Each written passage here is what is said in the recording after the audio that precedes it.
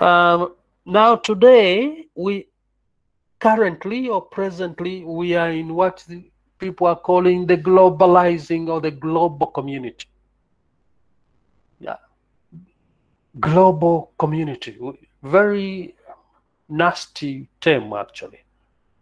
And, and to many Af- radicals in, in, in, in Africa, people like um, I talked about Mbembe and, and others, Mudimbe and, and the rest. To them, this animal of globalization is just neo imperialism. It's the new imperialism or new colonialism. Um, so the globalizing world has brought its own issues also. So we are seeing greed.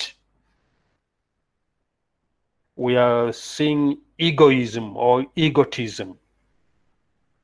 And we are seeing loss of community.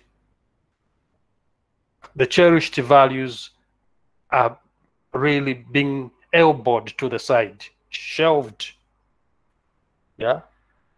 The decline of moral values is actually catastrophic and you can bear witness to this. Yeah. What are people doing with their phones and all that? The, the amount of things that kids, young people uh, have have had to see. Incredible. So this global thing, this modernity, whatever it is, or post-modernity, is is a disaster